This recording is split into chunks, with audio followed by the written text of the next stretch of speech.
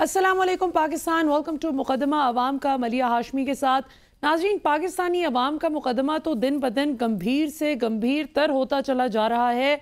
आज आधी रात को हमें बड़ी अफसोसनाक खबर मिलती है कि जी, पाकिस्तान में पेट्रोल की कीमत में छब्बीस रुपये एकदम से इजाफा कर दिया गया, जिससे पेट्रोल की इस वक्त मौजूदा कीमत तीन सौ इकतीस रुपये फ़ी लीटर हो चुकी है। और सुनने में यह आ रहा है कि अभी यहाँ पर ही ये कीमत नहीं रुकेगी। ये मज़ीद पच्चीस तीस रुपये बताया जा रहा है कि आहिस्ता आहिस्ता इसको बढ़ाया जाएगा। अब आईएमएफ के सर पर थोप कर कब तक जो भी हुक्मरान आते हैं, वो इसका बार उठा उठाने से, इन फैसलों का सियासी बोझ उठाने से ख़ुद को बरियुज़मा कब तक करार देते रहेंगे, ये एक बहुत बड़ा सवालिया निशान है इस बात पर। और जो अभी मौजूदा कानूनी फ़ियास्को है, कोई दूर दूर तक हमें इलेक्शन नज़र नहीं आ रहे होते हुए, अगरचे सदर पाकिस्तान ने इलेक्शन कमीशन को तजवीज़ दे दी। इस हफ़्ते में कि जी आप छः नवंबर 2023 को इंतबात करवा दें। लेकिन अब उससे एक नई कानूनी बहस का आगाज़ हो गया है कि क्या सदर साहब को ये आइनी तौर पर इख्तियार हासिल था कि वो ये तजवीज़ देते? और दूसरा ये कि क्या सदर साहब आर्टिकल 48 के तहत स्ट्रेट अवे क्या वो तारीख का ऐलान खुद ही नहीं कर सकते थे? तो ये कुछ ऐसे सवाल हैं जिन पे हम आज अपने मोज़ पैनलिस्ट से जानने की कोशिश करेंगे कि उनकी समझ बूझ के मुताबिक मामला किस तरफ़ जा रहे हैं और आम आदमी की जो तनख्वाह का और उसके बजट का आई टी शेयर आज पेट्रोल की कीमतें अदा करने में सर्फ हो रहा है। खाने पीने की अशिया ही लोग पूरी नहीं कर पा रहे। खुदकुशियों का रेट बहुत बढ़ गया है, जो कि बहुत ही अफसोसनाक बात है मीडिया पर तो एग्जैक्टली exactly सब कुछ सामने नहीं आता। जो लोगों के घर घर इस वक्त दिगरगू हालात हैं, लोग अपने बच्चों की शादियों के लिए परेशान हैं। तिनका तिन, तिनका पाई पाई जोड़कर जो बाप सारी ज़िंदगी अपनी बेटियों के लिए, उनकी शादी के लिए कुछ रकम जमा करता है आज वो रकम इस हद तक डी वैल्यू हो गई है और पिछले डेढ़ साल में जो मुशी तौर पर दिगर को सूरत हाल है, इस पर ज़रा आज के प्रोग्राम में नाजरीन बात करेंगे इन डेप्थ एनालिसिस लेने की कोशिश करेंगे अपने मोज़ पैनलिस्ट से। हमें प्रोग्राम के पहले हिस्से में ज्वाइन कर रहे हैं जनाब जहांगीर जैदून साहब, किसी तारुफ के मोहताज नहीं, सबक ऑडिटर जनरल इस्लामाबाद हमारे साथ मौजूद हैं। जनाब जहांगीर जैदून साहब, हमें ज्वाइन करने के लिए बहुत बहुत शुक्रिया।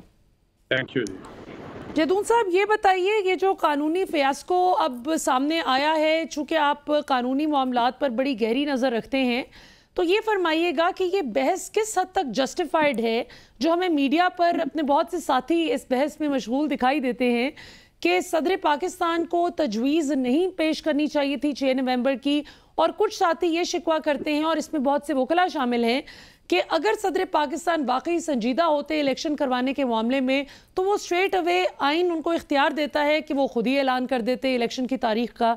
आपकी इस हवाले से क्या कानूनी राय है?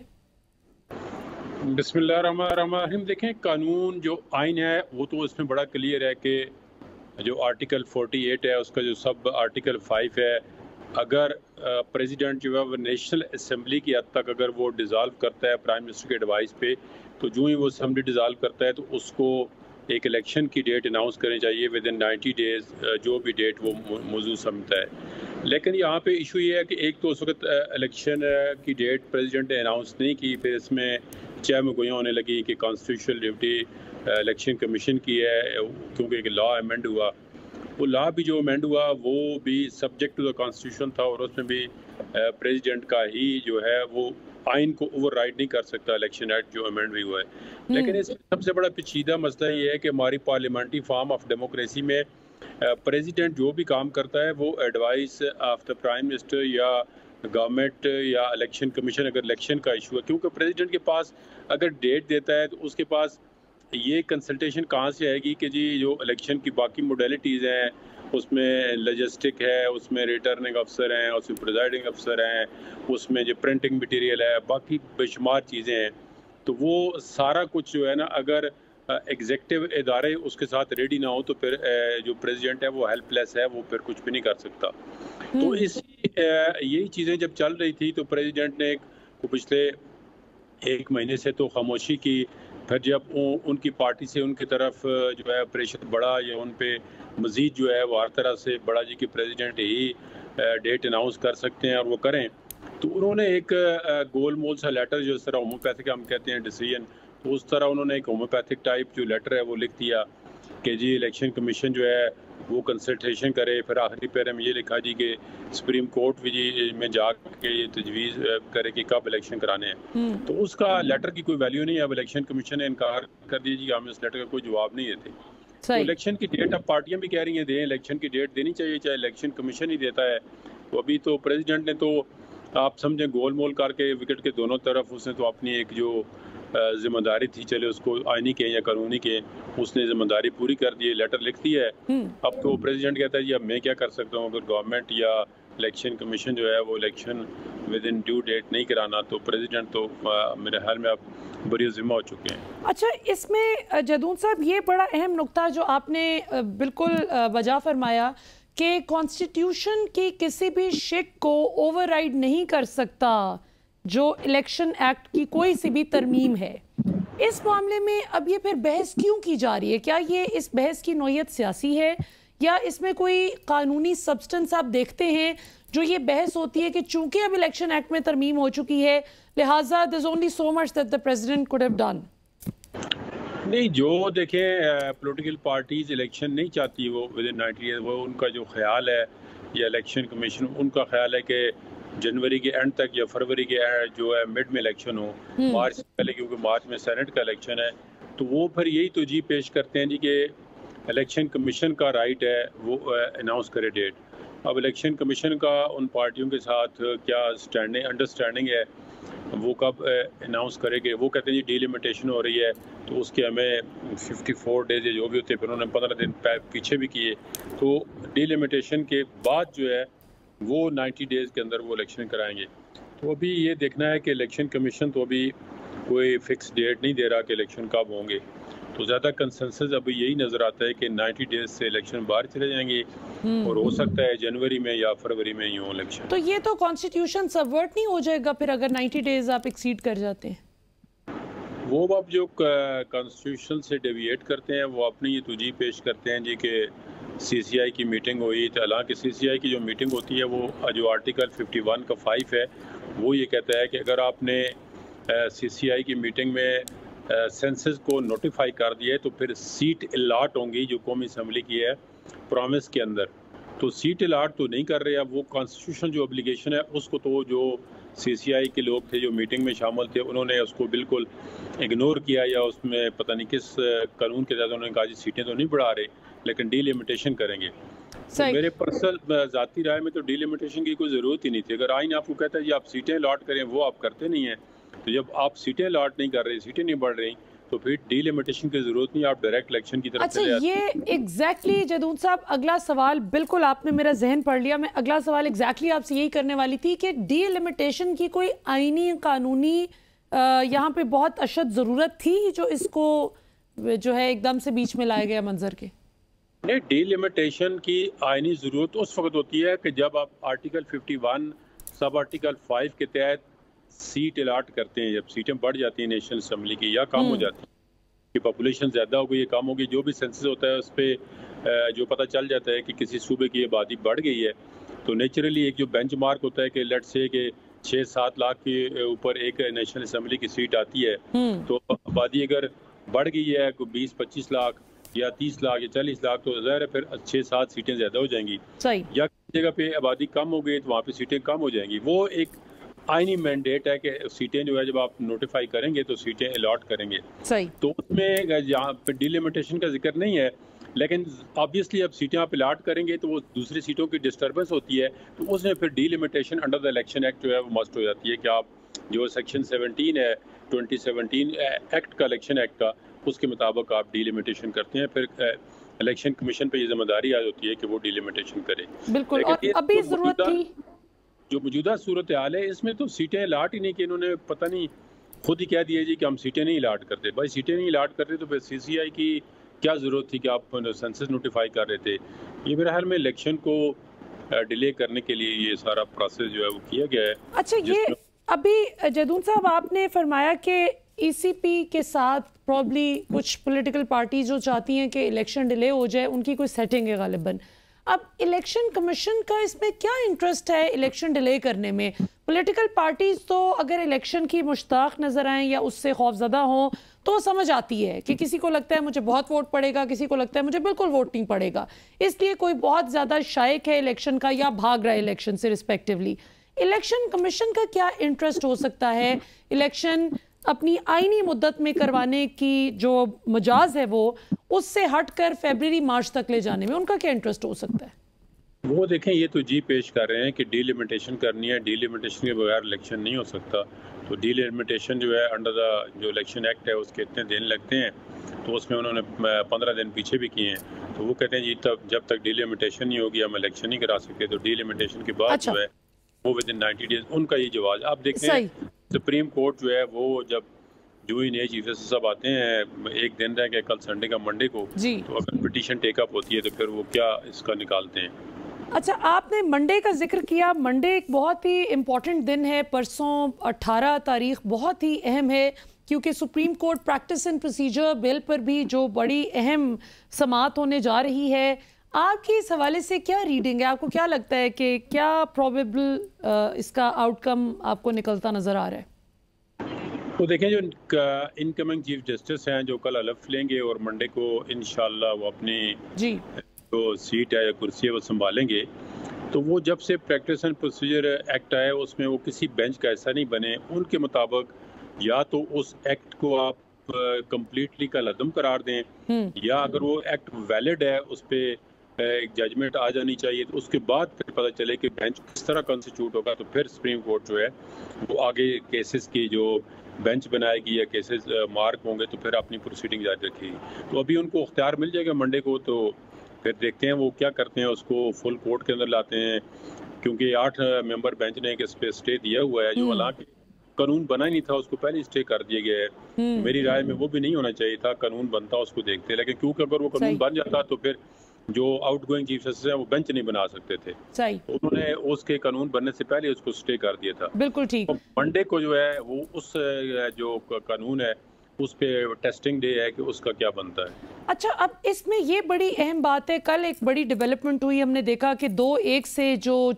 outgoing chief justice Umar Ata Bandial साहब हैं उन्होंने नैब कवानीन में जो तरमीम थी जो कि एक इल्ज़ाम आयद किया जाता था कि कुछ मखसूस लोगों को बचाने के लिए और उनकी जो अरबों रुपए के मामला हैं, उनको उनसे एग्जॉनरेट कराने के लिए तरामीम की गई। अब इस पे ज़ाहिर है मुख्तलिफ़ किस्म की आरा पाई जाती हैं, कुछ लोग इतफाक़ करते हैं, कुछ इख्तलाफ करते हैं। आपकी इस हवाले से क्या राय है? अब supreme court practice and procedure bill की जो समात होने जा रही है, क्या आपको लगता है कि वो कल का आया जो फैसला है, उस पर असरअंदाज हो सकती है जो समात है? नहीं, वो उस फैसले को अगर कोई जो फेडरेशन है वो रिव्यू में जाती है तो ऑब्वियसली जो फिर सुप्रीम कोर्ट है वो देखेगी। क्योंकि एक जज साहबान जो है जस्टिस मंसूर शाह साहब उन्होंने डिसेंटिंग नोट दिया वो कहते हैं जी पिटिशन मेंटेनेबल नहीं है। हम्म। कि दो जजों ने कहा जी पिटिशन मेंटेनेबल है। और इसकी मैं आपको बताता चलूँ आपके नाजरीन के लिए कि इलेक्शन जो नैब आर्डिनेंस था उसमें तीन चार दफ़ा तरमीम हुई है। 2022 में दो दफ़ा हुई, एक दफ़ा 2023 में और फिर तेईस में दो जो नैब आर्डीनेंस आया है। तो इन्होंने सारा जो था अमेंडमेंट उनको नहीं छेड़ा है। जो उसके अंदर अमेंडमेंट थी रिगार्डिंग रिमांड जो उसके अंदर अमेंडमेंट थी regarding the bail by the trial court NAB court तो उनको या बाकी और काफ़ी सारी डिफिनेशन थी, उनको नहीं चढ़ा उन्होंने चार पाँच सेक्शन जो थी, जिसमें एक तो पिक्यूनरी जुरिस्डिक्शन थी, वो पचास करोड़ वाली उसको वापस कर दिया है। दूसरा जो सिविल सर्वेंट थे, उन्होंने कहा जी अगर मिस यूज़ ऑफ़ अथॉरिटी करेंगे, ये नैब के अंदर ही रहेंगे।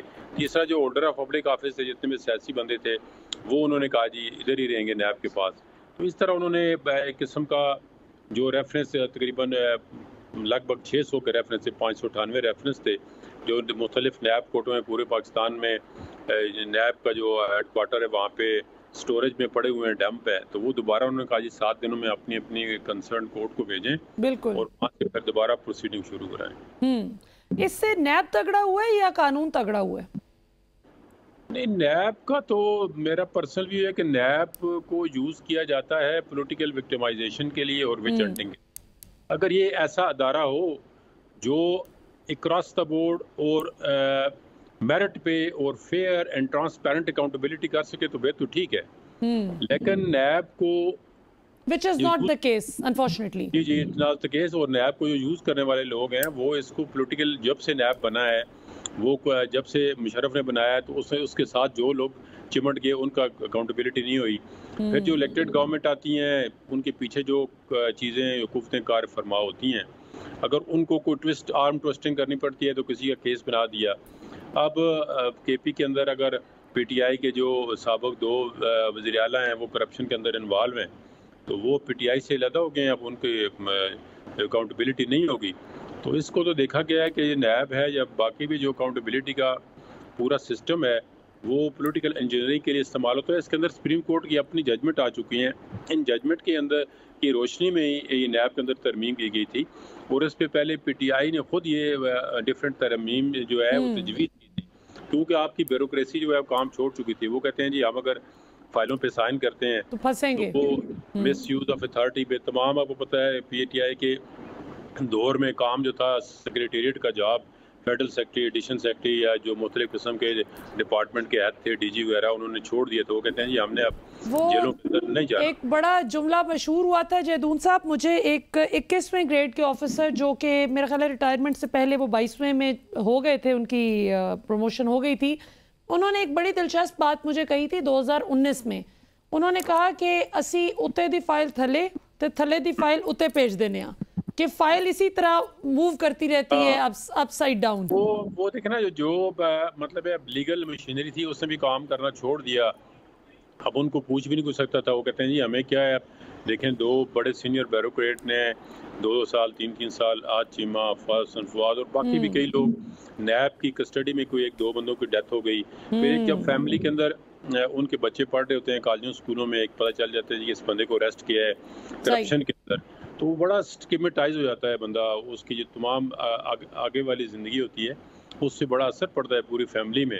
तो नैब तो मेरे हिसाब में सबसे पहले तो जो चेयरमैन नैब गुजरे हैं अगर उनका इतसाब हो जाए उनके एसेट्स जो हैं वो डिक्लेयर करें तो पता चल जाएगा कि नैब को जो है पहले अपने अंदर कितनी खुद एहतसाबी का ये इदारा है कि अपने अंदर कितना एहतसाब करता है। बिल्कुल सही बात है। ये बहुत आपने दुरुस्त फरमाया कि जो लोग एहतसाब दूसरों का करने की बात करते हैं, वो ज़रा पहले अपना एहतसाब दे दें। पर मसला ये है, जदून साहब कि कोई भी यहाँ पे अपना एहतसाब जो है, वो करवाने के लिए तैयार नहीं होता। आखिरी क्वेश्चन जैदून साहब आपसे इजाज़त लेने से पहले पूछना चाहूँगी, जैसे आपने बजा फरमाया कि जो जो भी लोग माजी में पीटीआई का हिस्सा रहे जिस वक्त वही पीडीएम के लोग जब उन पर करप्शन के इल्ज़ाम आयद करते थे, आज जब वो इमरान खान को छोड़ के उनके साथ बैठ गए हैं तो आज वो शीरो शक्कर हो गए हैं और कोई उन पर करप्शन की बात नहीं होती। तो इन लोगों का एहतसाब करने का क्या मैकेनिज्म होगा? लास्ट क्वेश्चन देखें इन लोगों के या जिसका भी जो इनके पीछे कार्य फरमा होती हैं चीज़ें उनका एहतसाब आज दिन तक हो नहीं सका। आज दिन तक आप मुझे बताएँ किसी पॉलिटिकल पर्सनालिटी से कुछ चीज़ रिकवर हुई है कुछ अ, बस किसी का अंदर किया साल दो साल डिले किया फिर वो बरी रहते हैं। कि, कि बहुत सारे लोगों का रिमांड मिला जब हालात बदले तो फिर उनको बाहर निकाल दिया गया। तो अभी आप देखें अलीम खान जहांगीर तरीन बुजदार ये जो अपना वसीम अकरम प्लस और जी जी परवेज खट्टर महमूद खान और ये जितने भी लोग हैं अब ये जब दूसरी पार्टी में चले गए हैं तो इनका एहतसाब कौन करेगा उन्होंने जो करप्शन की है? करप्शन तो देखें कि एक- जो अकाउंटेबिलिटी है हमारे मुल्क के अंदर मैंने आपको कहा है वो स्टिगमेटाइज है। कोई बंदा आके बहस भी कर जाए कि इस अकाउंटेबिलिटी का कोई फ़ायदा हुआ है और जिन्हें एक आपको पता है कि बल्कि नैब के अंदर से जो ब्रॉड शीट थी वो का- मूसवी का, का, काफा क्या उसका। नाम? उसने ब्रॉड शीट पर नैब से रिकवरी कर ली। नैब ने उसको कहा जी आप अकाउंट देखें जो डूबियस और सस्पिशियस अकाउंट है उनके लिए उसको हायर किया तो वो बल्कि नैब को पैसे देने पड़े। तो नैब तो एक अकूबत खाने की जगह बन चुकी है कि जिसको उठाना हो नैब उठा ले नवे नवे दिन अंदर रखे तो फिर जो है उसको कभी कहीं बरी हो जाए। तो नैब को मेरे ख्याल में तो सबसे पहले तो नैब के जितने भी नैब के अंदर काम करने वाले लोग हैं चेयरमैन से लेकिन नीचे ले उनके एसेट डिक्लेयर हों कि वो क्या क्या एसेट होल्ड करते हैं जब वो जाते हैं उनके पास कितना कुछ होता है। बिल्कुल सही। बात ये है कि लॉ के अंदर ऐसी अमेंडमेंट हो कि नैब जिसके साथ भी कोई झूठा केस बनाए तो वो सेम पेनल्टी सेम केस जो है अगर वो बंदा बरी होता है या किसी चीज़ स्टेज पर उसकी इक्वटल होती है वो केस झूठा साबित होता है तो वो नैब का जो बंदा उस पर केस बनाता है उसी पे वो सेम केस बनना चाहिए। बिल्कुल सही। बहुत बहुत शुक्रिया जहांगीर जैदून साहब, आप हमारे साथ मौजूद थे। आप सबक ऑडिटर जनरल नाजरीन, यहाँ पर वक्त हुआ, एक शॉर्ट कमर्शियल ब्रेक का आपने जैदून साहब का इंसाइटफुल एनालिसिस सुना। यहाँ पे ब्रेक से वापस आएँगे तो गुफ्तु के सिलसिले को ज़रा आगे बढ़ाएँगे और कुछ और पहलुओं को भी अंडर डिस्कशन लाएँगे। कहीं मत जाइएगा state you see you after short break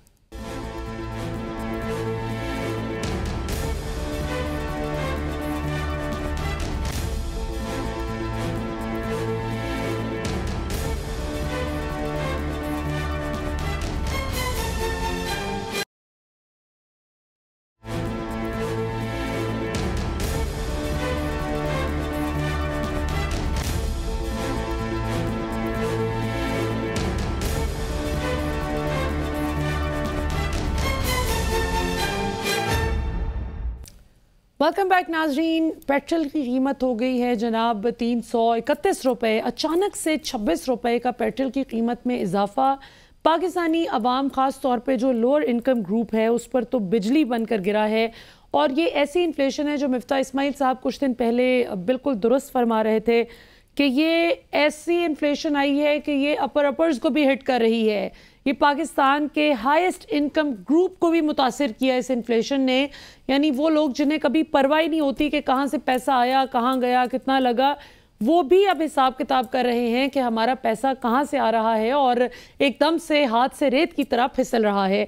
सो बात करते हैं जी महँगाई के मौजू पे हमें ज्वाइन कर रहे हैं जनाब पाकिस्तान के मुमताज़ माहिर मीशत। जनाब डॉक्टर इकरामुल हक साहब पाकिस्तान के मरूफ कॉलमनिस्ट भी हैं तजिया नगार भी हैं इकनॉमिक एक्सपर्ट हैं। डॉक्टर साहब, हमें ज्वाइन करने के लिए बहुत बहुत शुक्रिया। सबसे पहले तो ये फरमाइएगा कि ये जो रात को बॉम्ब गिराए पाकिस्तानी अवाम की जेबों पर इकट्ठा छब्बीस रुपए का इजाफा कर दिया गजब खुदा का। अब तीन सौ इकतीस रुपये फ़ी लीटर पेट्रोल हो गया है। क्या हुकूमत ये प्लान कर रही है कि पाकिस्तानी अवाम को स्मार्ट किया जाए? और हमें जो मेरी तरह के लोग जो जंक फ़ूड खाते रहते हैं और बस गाड़ियों में सैर करते रहते हैं अच्छा है ज़रा इनको वॉक करवाई जाए। छोड़ेंगे फ्यूल का इस्तेमाल करना। क्या कहेंगे आप? ये किधर चीज़ें जाती हुई नज़र आ रही हैं? जी, आम लोगों पर तो इसका बुरा असर होगा, मगर ये बात भी काबिल गौर है कि हुकूमत खुद भी तो फ्यूल से ही बिजली बना रही है और जब ये उसको इंपोर्ट करेगी तो उसमें भी फिर बेजा इजाफा होगा और कॉस्ट ऑफ़ डूइंग बिज़नेस तो सबकी बढ़ेगी क्योंकि डीजल तो आप किसान भी इस्तेमाल करते हैं। रेलवे में आपके अभी इंजन जो है वो हमने उसको इलेक्ट्रिक पे ले जाने की बजाय अभी तक डीजल इंजन यूज़ कर रहे हैं। आम आदमी की वो सवारी है।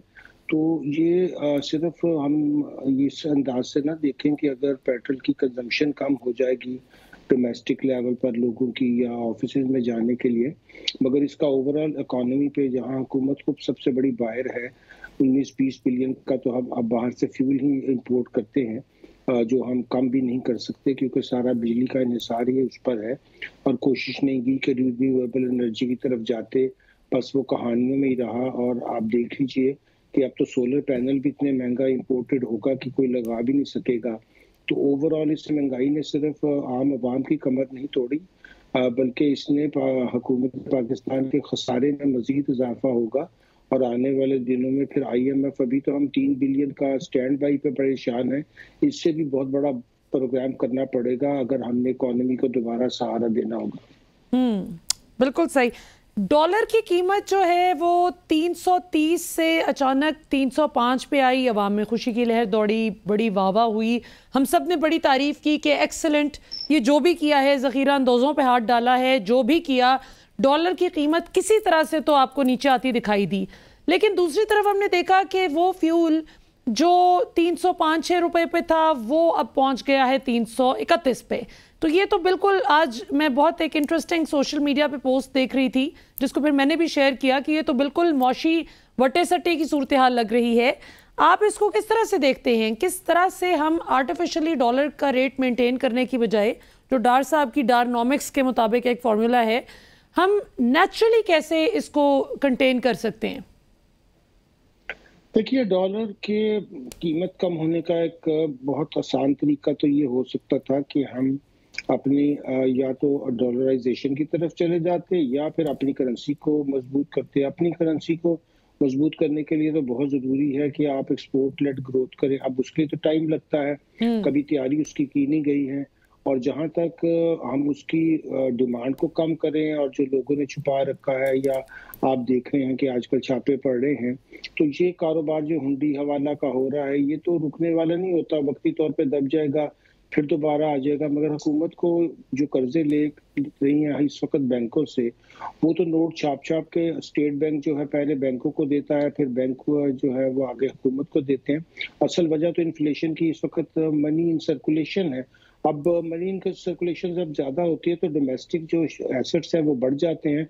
और जो हमारे नेट फॉरेन एसेट है और कम हो जाते हैं। जब ये रेशो खराब होती है तो फिर आपको वक्ती तौर पर जितनी मर्ज़ी आप एडमिनिस्ट्रेटिव कोशिशें कर ले। आपने देखा था कि डार साहब ने आकर कोशिश की और फिर जनवरी में मैसिव डिवेल्युएशन करनी पड़ी। अब ये बजट बनाते हुए सोचना चाहिए कि इन्होंने डॉलर की पैरिटी क्या रखी थी। ज़ाहिर है कि जब वो बजट बनता है तो उसको पाक रुपीज़ टर्म में कोई एक पैरिटी तो रखनी पड़ती है। उस वक्त उनका अपना ख्याल ये था कि ये टू नाइन्टी फाइव होगा। तो इस कदर जो है हमने अपनी करेंसी की डिवेल्युएशन की है। उसकी बजाय अगर हम करेक्टिव मैयर्स करते कोई असलाहत की तरफ़ जाते तो आज आवाम को ये दिन ना देखना पड़ता। मसला सिर्फ़ यही है कि हुकूमत की शाह खर्चियाँ तो ख़त्म नहीं होती हैं हम्म। उनके कर्जा जात तो जारी रहते हैं। और जब वो बहुत कर्जे लेकर फिर नोट छापती हैं उसको फंड करने के लिए ज़ाहिर है कर्जों के ऊपर सूद भी तो देना इस साल आप हैरान होंगे कि मैं अभी नंबर जो थे इन्होंने पहले तो सिर्फ़ फाइव पॉइंट सिक्स ट्रिलियन के करीब रखा। अब आठ ट्रिलियन पे तो हमारा सिर्फ़ सूद का खर्चा इस साल होगा। तो हम्म। कहाँ से पूरा करेंगे हम? खुद वफाकी हुकूमत पचपन ये पचपन रुपया जो पर लीटर भी लगाकर पेट्रोलियम लेवी हम्म। और अवाम को तंग करने के बावजूद भी खसारा तो इनका फिर भी कम नहीं होना वो तो फिर साठ ट्रिलियन से ऊपर जाएगा। तो फ़ायदा क्या हुआ? ना आवाम को कोई फ़ायदा पहुँचा ना हुकूमत के बजट खसारे में कोई कमी हुई। तो ये तो ऐसी सूरत हाल है कि किसी एक चीज़ में भी चले आप लोगों को जैसा शुरू में आपने फरमाया था कि अगर हम कुछ गाड़ियों की खपत कम कर दें हफ़्ते में दो दिन ना चलाएँ पैदल चले जाए करें मगर हुकूमत का खसारा तो इसलिए कम नहीं होना कि इनके खर्चे जो हैं उसमें एक बड़ा खर्चा तो अब सिर्फ़ आप देख रहे हैं कि डेट सर्विसिंग का है जो सात ट्रिलियन से भी ऊपर जा चुका है।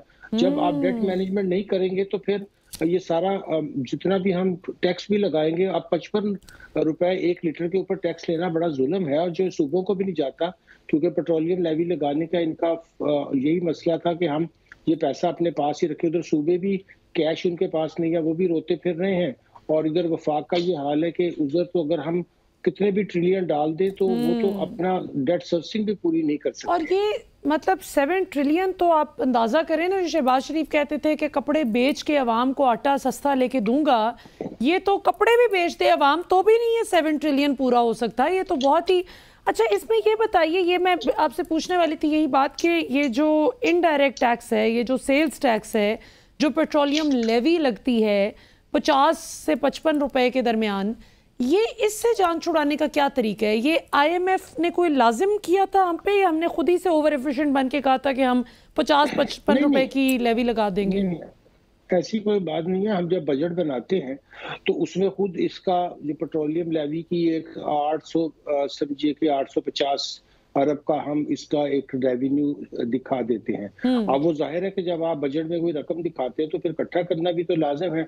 अब होता क्या है जब बजट बनता है तो उस वक्त यानी कि टैक्सों के अंदर समझिए कि इस वक्त डेढ़ ट्रिलियन के यानी कि पंद्रह सौ अरब रुपए के जो है वो एग्जामेशन है जिसमें से हाफ़ तो बड़ी आसानी से खत्म की जा सकती थी। तो अगर आप पेट्रोलियम लेवी नहीं लगाना चाहते थे तो फिर आपको वो टैक्स एग्जामेशन खत्म करनी पड़ती। मगर वो टैक्स एग्जम्पन चूँकि ताकतवर तबकों को मिलती हैं वो खत्म नहीं ये करते और आवाम के ऊपर बोझ डालते रहते हैं। बिल्कुल। अगर हम वहाँ से हम खत्म कर देते और बजट में खसारा इस तरह का ना दिखाते तो ज़ाहिर है आई एम एफ़ तो ये कहता है कि आप प्राइमरी सरप्लस यानी मैं अभी सादा अल्फाज में लोगों के लिए बता दूँ कि सूद निकाल कर तो कम अज कम वो कहते हैं इतने पैसे आप इकट्ठे करें कि आप जारी अखराज पूरे कर सके।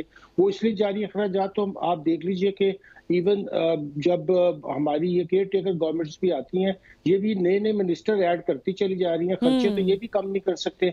और कर्जों के ऊपर जो सूद है वो कैसे कम होगा जब तक सर्दे कर्जे जो है अदा नहीं होंगे वापस? और कर्जे अदा वापस करने के लिए इनके पास कोई प्लान नहीं है। अच्छा प्लान से याद आया ये जो आईएमएफ का अब माहिदा मार्च तक गालिबा फेबररी मार्च तक ख़त्म हो रहा है जो। नौ महीने के लिए मिली थी ब्रीदिंग स्पेस आईएमएफ की तरफ़ से इसके बाद आपको क्या नज़र आ रहा है डॉक्टर साहब? उसके बाद एक बड़ा प्रोग्राम फिर आईएम की तरफ़ आईएमएफ की तरफ़ जाना पड़ेगा क्योंकि जो हमारा इस वक्त सारी इंपोर्ट बंद करके इकोनॉमी का बेड़ा गर्क करके, उसकी ग्रोथ जो है वो माइनस में करके भी हमारे पास इतने डॉलर की तो आप देख रहे हैं कि रिज़र्व जो हैं, वो बामुश्किल से हमारे तीन चार ट्रिलियन पे भी नहीं पहुँच सकते। क्योंकि वजह उसकी ये है कि तीन चार बिलियन डॉलर भी जो टर्म में पड़ा हुआ है वो भी मांगे तांगे का है। कभी हमने यूएई से ले लिया कभी सऊदी अरेबिया से ले लिया कुछ लोगों का बैंकों में पड़ा हुआ वो काउंट कर लिया। अच्छा वो किस खुशी में काउंट कर लिया? ये बताएँ ये सागडार साहब ने बड़ी साइंस से एक उसका इजहार किया था। ये नया फॉर्मूला उन्होंने निकाला था कि जो लोगों की अपनी पर्सनल एक्विटी जो बैंक्स में मौजूद है उसको वो कैसे काउंट कर रहे थे उसमें?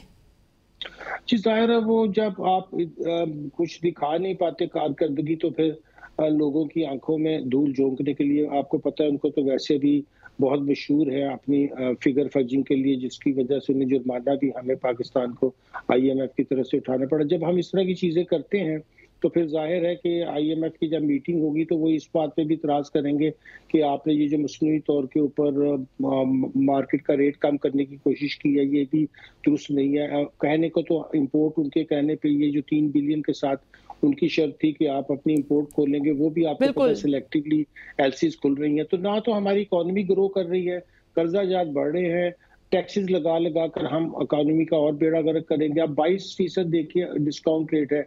उसके ऊपर आप इतना महँगा जो है वो पेट्रोल और बाकी चीज़ें महँगाई का असर आएगा तो कौन बिज़नेस कर पाएगा? ट्रू वेरी एम्प्लॉयमेंट भी जनरेट नहीं होगी। सही।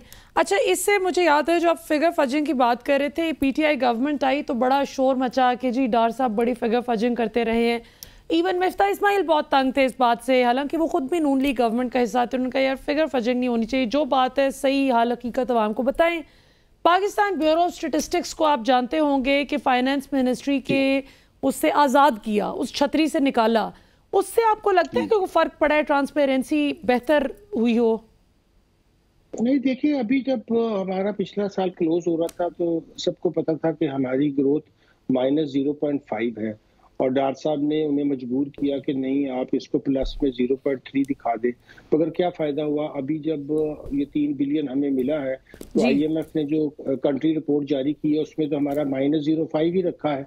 अच्छा। तो अगर रियासत के अगर रियासत की फिगर्स को एक आईएमएफ नहीं मानता तो फिर इसके बाद हमारी क्या ये एक मिनट डॉक्टर साहब ये जरा दोहरा दीजिएगा नुकता। यानी अगर मैं सही समझी हूँ तो आप ये कहते हैं कि डार साहब ने जो plus point two eight plus point two nine percent दिखाई थी जीडीपी ग्रोथ रेट जिसको अली खजर और दीगर इकोनॉमिस्ट का कहना था। आप भी अब सब स्केप्टिकल थे कि ये लगता नहीं कि प्लस में है। तो वो माइनस कितनी थी? वो माइनस ज़ीरो पॉइंट फाइव थी और ये आईएमएफ ने भी अपनी रिपोर्ट में यही लिखा है। और शुरू शुरू में ये खबर भी आपने देखा होगा अखबारों में आई थी कि ये एक्चुअल फिगर थी और डार साहब ने जाकर पाकिस्तान ब्यूरो स्टेटिस्टिक्स को कहा कि नहीं भाई मुझे तो पॉजिटिव फिगर चाहिए आप कुछ भी करें मैं नेगेटिव फिगर नहीं लूँगा। तो हमेशा इस तरह होता है। फिर बाद में और आईएमएफ ने झूठ पकड़ लिया। जी बिल्कुल। वो उन्होंने अपनी रिपोर्ट में क्लियरली लिखा है। देखें कितनी अफसोस की बात है। अच्छा आखिर में डॉक्टर साहब, चूँकि वक्त की किल्लत है, आपसे इजाज़त लेने से पहले लास्ट क्वेश्चन आपसे पूछना चाहूँगी।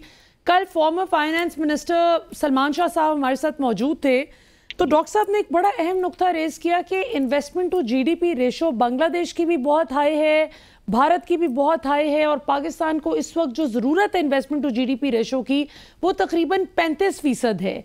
इसको हम अचीव करने के लिए हमें क्या करना चाहिए? क्या रेडिकल स्टेप्स पाकिस्तान को लेने चाहिए? देखिए, सबसे बड़ी बात तो हमारे पास एग्रीकल्चर एक ऐसा शोबा है, जहाँ अगर हम इन्वेस्टमेंट करें तो रिज़ल्ट भी हमें ज़ाहिर एक साल में दो फ़सलें या तीन फ़सलें भी हो सकती हैं।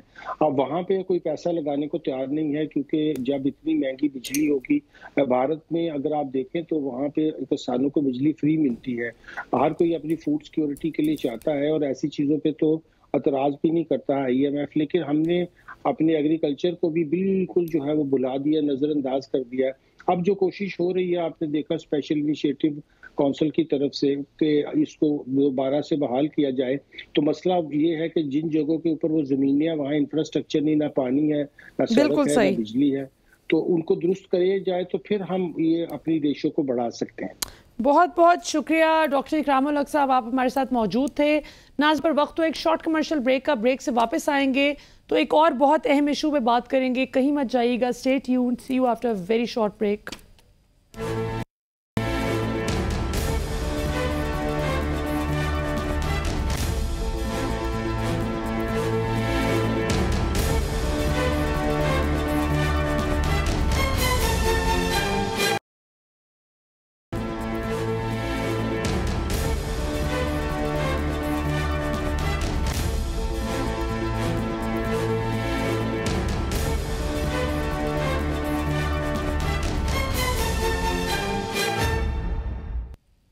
welcome back नाजरीन पाकिस्तान में आइंदा आने वाले दिनों में कानूनी ऊँट किस करवट बैठने जा रहा है?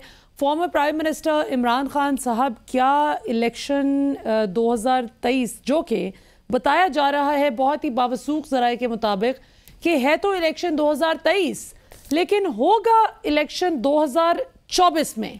तो जो 2024 में इलेक्शन होने की बातें चल रही हैं उसमें क्या former prime minister Imran Khan साहब शिरकत कर सकेंगे?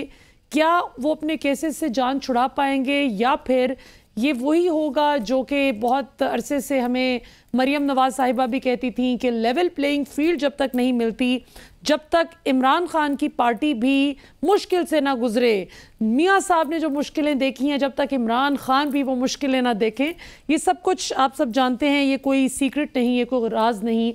वो अपने इंटरव्यूज़ में, अपने जलसों में बरमला इस ख्वाहिश का इजहार करती रहीं।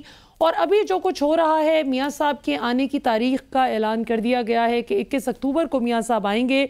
लेकिन कल जो बंदयाल साहब ने जाते जाते आउट गोइंग चीफ जस्टिस साहब ने दो एक से फैसला सुना दिया कि नैब कवानीन में तरामीम ख़त्म कर दी जाएँ, कलदम करार दे दी गई। इनका क्या असर मुरतब हो सकता है आने वाले दिनों में पाकिस्तानी सियासत पर? और मियाँ साहब की वापसी क्या खटाई में पड़ सकती है या मियाँ साहब वापस आएँगे? हमें इस सेगमेंट में ज्वाइन कर रहे हैं पाकिस्तान के मुमताज़ माहिर कानून जनाब राजा आमिर अब्बास साहब, जो कि बहुत ही ब्रिलियंट पॉलिटिकल कमेंटेटर भी हैं लीगल मामला पर भी बड़ी गहरी नज़र रखते हैं। राजा साहब, हमें ज्वाइन करने के लिए बहुत बहुत शुक्रिया। सब तुम पहला ए दसो कि मियाँ साहब तो लग रहे हैं कि वापस आएँगे। No I think in sweet और शॉर्ट आंसर इसका है नो ये बंदयाल साहब ने बाज़ार कल दे दिया अच्छा क्योंकि वो जो उन्होंने अमेंडमेंट्स की फैसला दे दिया है हम्म। उसके बाद मियाँ साहब मैं समझता हूँ अगर तो ये अमेंडमेंट्स फ़ील्ड में रहती हैं और कायम रहती हैं ये जो उनका फैसला है हम्म। और नैब को जो अख्तियार पुराने थे वो दोबारा मिल जाते हैं और नैब में जो हालात मुझे नज़र आ रहे हैं कि चेयरमैन नैब भी नया आ गया है डिप्टी चेयरमैन भी आने की तैयारियों में हैं और प्रोसिक्यूटर जनरल भी नया आ रहा है। तो ये तमाम जो आ रहे हैं ये फिर कुछ और किस्म की लगता है लेवल प्लेइंग फ़ील्ड होगी। वो नहीं होगी जो मरियम बीबी कहती है कि लेवल प्लेइंग फ़ील्ड हो। अच्छा। इस दफ़ा लेवल प्लेइंग फ़ील्ड में लगता है कि ये तमाम के तमाम जो सी लीडरशिप है इमरान खान तो पहले ही अंदर है लेकिन ये जो बहाने भूने से बाहर शार जाते थे ना और इनका ख्याल था कि जी बस हमें आके बिठा दिया जाएगा। That is not possible so they should make sure कि अगर तो ये जजमेंट रह गई और इसको नई सुप्रीम कोर्ट की जो है चीफ जस्टिस साहब और उनके बाद जो बेंचेस बनते हैं, उन्होंने अगर इसको सेटिसाइड ना किया तो फिर मेरा ये ओपिनियन है कि फिर लेवल प्लेइंग बहुत सख्त हो जाएगी। बहुत से केसेस आपको नज़र आएँगे क्योंकि मुझे हम्म। लगता है कि आप जो डिप्टी चेयरमैन जो बेसिकली ऑपरेशंस को हेड करते हैं नैब के हम्म। और डीजी ऑपरेशंस भी लगता है कोई नए आएँगे और अगर वो आ गए कहीं फौज से हम्म। तो फिर वो तो किसी पार्टी के साथ एफिलिएटेड नहीं होते क्योंकि नैब में प्रॉब्लम यही था कि मियाँ साहब को या उससे पहले पीपल्स पार्टी को आदत पड़ी हुई थी कि अपने मर्ज़ी का चेयरमैन लगा लिया अपनी मर्ज़ी का प्रोसिक्यूटर जनरल लगा लिया और भी इंडक्शन पॉलिटिकली एफिलिएटेड लोगों की होती थी नैब में हम्म। जो कि इनको बज़ाहिर ऑप्टिक्स की हद तक तो रेफरेंस रेफरेंस खेलते थे लेकिन प्रोसिक्यूशन में और इन्वेस्टिगेशन में बहुत से वो लेकूनस खला छोड़ देते थे और इनको फैसिलिटेट करते जानबूझ के हम्म। हाँ लेकिन अगर ये नया सेटअप आ जाता है तो मदिया आई बिलीव मलिया के ये बड़ा मुश्किल होगा वो वाली लेवल प्लेइंग फ़ील्ड हासिल करना जो कि मरियम बीबी समझ रही है। और 28 अक्टूबर भी 21 है 28 है 21 अक्टूबर। साल नहीं बताया लेकिन 21 अक्टूबर बता दिए। हाँ बस ये इक्कीस अक्टूबर ही जेन में रखे। मुझे नहीं लगता कि वो फिर आएँगे ना फिर लाहौर में आपको फकीदुल मिसाल किस्म का इस्तकबाल।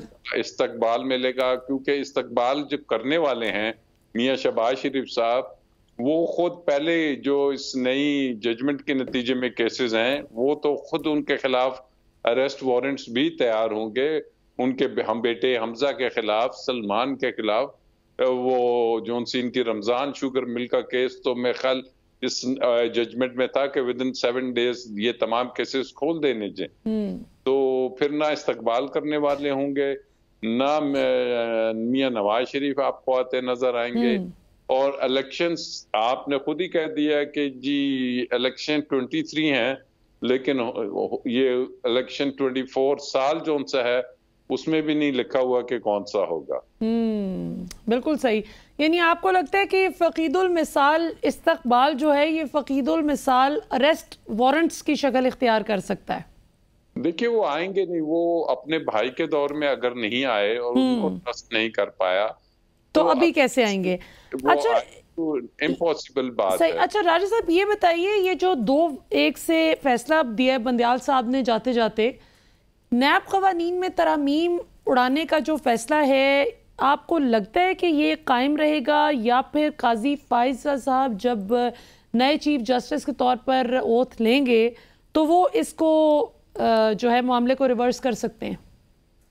देखिए ये मामला ऐसे है कि अभी तक इवन जिन एक जज साहब साहब ने इसको डाइसेंटिंग नोट लिखा है। मंसूर अली शाह साहब ने।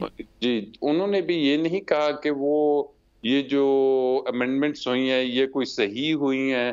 या वाकई ही करप्शन के लॉस को कमज़ोर करना चाहिए। उन्होंने माज एक तकनीकी बुनियाद बनाई कि जी पार्लियामेंट का लॉ है पार्लियामेंट ने बनाया है अब पार्लियामेंट ही इसको अंडू कर सकती है। अगर ये एनोलॉजी अडॉप्ट कर ली जाए तो फिर तो हमेशा के लिए सुप्रीम कोर्ट का रोल खत्म हो जाना चाहिए। किसी भी कानून को अगर चैलेंज किया जाता है सही। बड़े आराम से पाँच साल का मुद्दत के लिए आप इंतज़ार करें फिर नई पार्लियामेंट पे छोड़ दें फिर सुप्रीम कोर्ट जिसको कहा जाता है कि वो इंटरप्रिटेशन करेगी आए, आए कानून का जो ये देखेगी जी कानून कहीं फंडामेंटल राइट से या किसी और आयनी शिक से मुतसादम तो नहीं है तो फिर तो ये वाला चैप्टर और आर्टिकल एट है हम्म। आईने पाकिस्तान में जो ये कहता है कि जो पार्लियामेंट को राइट तो दिया गया है कानून साजी का हम्म। लेकिन वो कानून साजी उन्होंने सब्जेक्ट टू कहा कि कोई ऐसी कानून साजी नहीं हो सकती जो कि बुनियादी हकूक के खिलाफ हो और बुनियादी हकूक तो ये हम सबका है कि हमें करप्शन फ्री सोसाइटी मिले करप्शन फ्री गवर्नेंस मिले करप्शन के जो लोग लूटर्स एंड प्लंडर्स हैं उनको सजा मिले और जो इस फैसले में लिखा गया कि डिस्क्रिमिनेशन नहीं होनी चाहिए और ये बुनियादी हकूक के मुताबिक है लेकिन अगर टेक्निकल ग्राउंड्स पे इस केस को अगर साइड पे कर दिया जाता है तो फिर अवाम में ये जो पहले से एक फीलिंग है कि जी अशराफिया का किसी किस्म का एहतसाब होना इस मुल्क में मुमकिन नहीं तो हम्म। उस पर एक आने वाले चीफ जस्टिस साहब भी अगर स्टैंप लगा देंगे हम्म। तो वो रही से क्योंकि लोग बड़े पुर उम्मीद हैं कि आने वाले चीफ जस्टिस साहब जो उनसे हैं वो बिल्कुल आइन के मुताबिक चलेंगे और आइन के मुताबिक वो फैसले देंगे वो किसी प्रेशर में नहीं आएँगे हम्म। जैसा हमने माजी में देखा तो लोगों की बहुत तवक्कात हैं उनसे बिल्कुल सही अच्छा माजी में काजी फाइजा साहब को भी ऑब्वियसली बड़ी शिकवे रहे जिस तरह से जो मामला अदालत में चले फिर सुप्रीम जुडिशल काउंसिल का जब ये फैसला आ गया कि जब तक हमारी तरफ़ से गो अहेड ना हो तब तक वो नहीं मामला हो सकता। आ, ये इस पे ज़ाहिर एक एग्ज़ाम्पल सेट हो गई।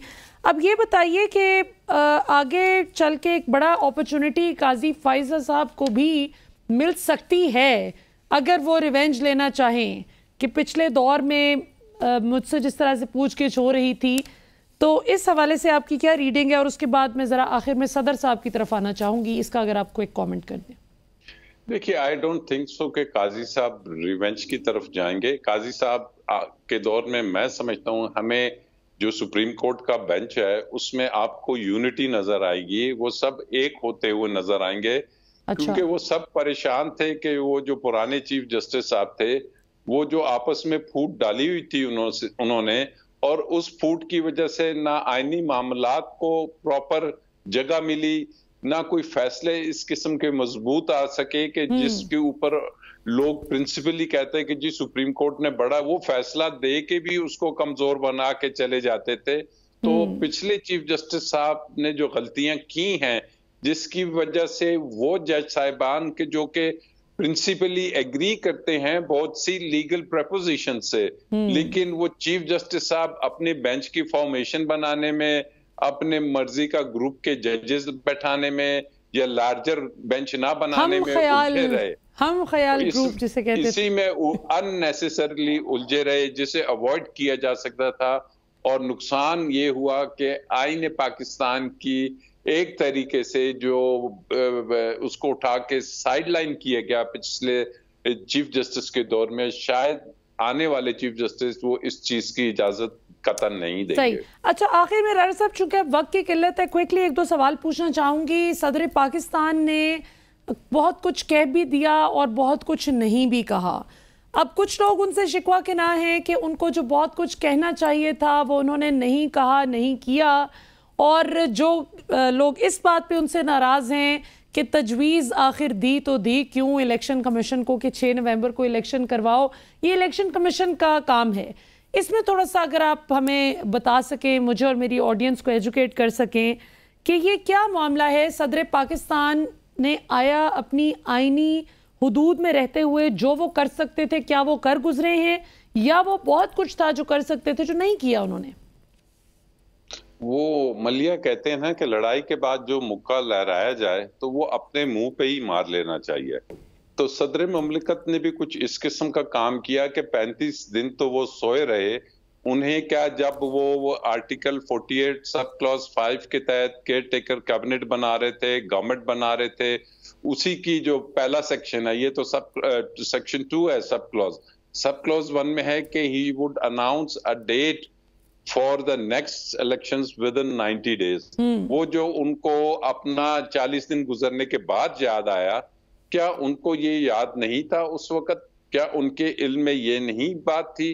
तो आई पर्सनली थिंक कि सदर साहब ने ये जो मामला है ये उनके इस अमल की वजह से कि जो इलेक्शंस डिले हो रहे हैं तो उसमें सदर साहब की भी इनपुट है। सदर साहब ने भी उसमें अपना रोल प्ले किया है एंड कल को जब याद रखा जाएगा तो उनका ये अमल मैं समझता हूँ कि इसी अंदाज में याद रखा जाएगा कि उन्होंने अपनी आईनी ज़िम्मेदारी पूरी नहीं की। दिस इज़ माई व्यू बिल्कुल सही। बहुत बहुत शुक्रिया राजा आमिर अब्बास साहब, आप हमारे साथ मौजूद थे। नाजनी राजा साहब की दो टोक गुफ्तगु सुनी, जो उन्होंने आईनी और कानूनी मामला पर अपना माहिराना तजिया दिया। आज का प्रोग्राम आपने देखा फीडबैक ज़रूर दीजिएगा और कमेंट सेक्शन में हमारे सोशल मीडिया प्लेटफॉर्म्स पे ज़रूर अपनी राय से आगाह कीजिएगा। हमारा फेसबुक पेज हमारा ट्विटर हैंडल और हमारे यूट्यूब चैनल को भी आप सब्सक्राइब कर सकते हैं for getting our regular updates अभी तक के लिए इतना ही। इन कल रात आठ बजे आपसे फिर मुलाकात होगी।